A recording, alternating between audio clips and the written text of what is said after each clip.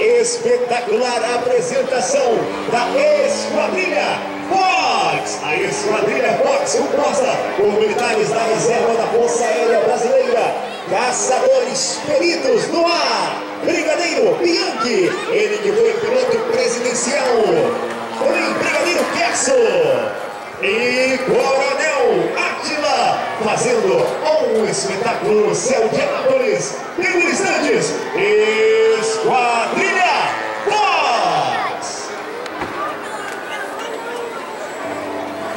Nesse momento no céu de Anápolis, aeromodelismo.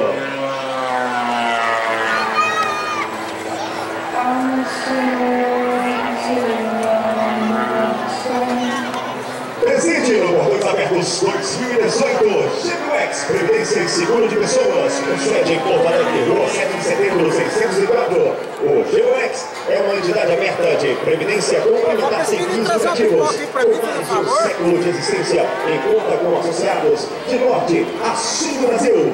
GPUX, Previdência e Seguro de Pessoas. Obrigado, hein?